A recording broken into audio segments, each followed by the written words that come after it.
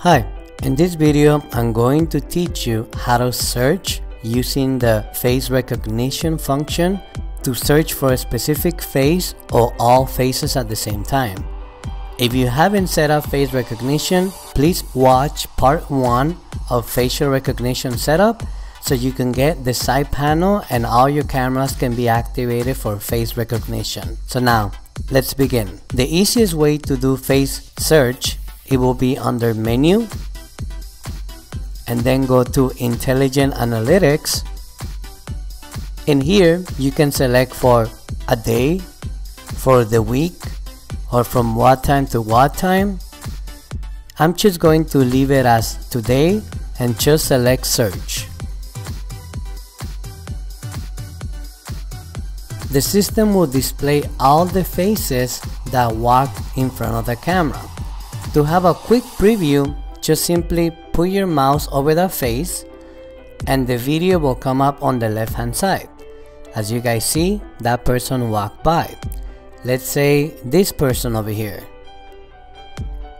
That person walked by. Let's say this person over here. You guys see that person walked by.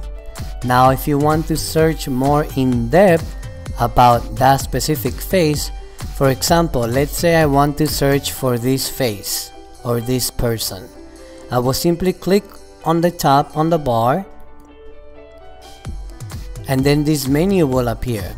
Now on the bottom where it says more, I can register this face to add it into the block list or allow or anything or any type of group that I created or if I want to search for that specific person, I just click search.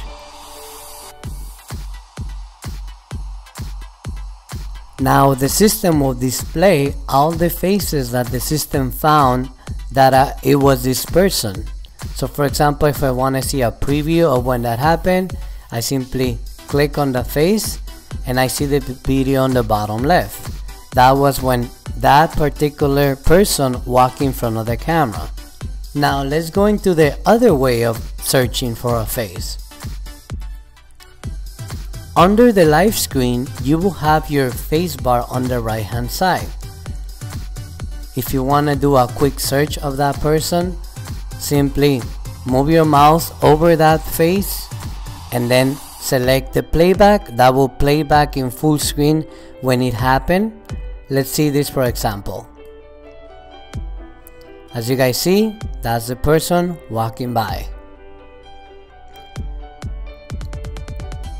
Let's go to another person. We can click history and then you see a little bit more of the list of the persons that walk by.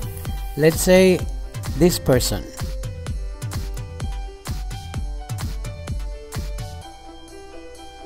As you see, that's when that person walked by.